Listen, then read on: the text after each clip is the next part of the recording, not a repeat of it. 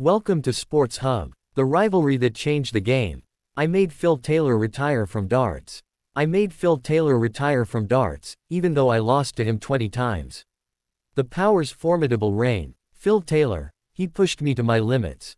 20 losses, but a lasting impact.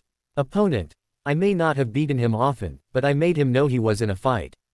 Darts analyst, a rivalry that raised the bar. What fueled their rivalry? Opponent, respect and determination. Phil Taylor, he brought out my best game. Darts analyst, their legacy forever intertwined. Opponent, I'm proud of my role in his story. Phil Taylor, he made me a better player. Darts commentator, an era-ending rivalry.